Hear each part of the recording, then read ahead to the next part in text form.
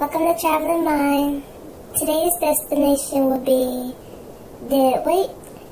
And why so many people feel the need to carry it around? Could you be guilty of this crime also?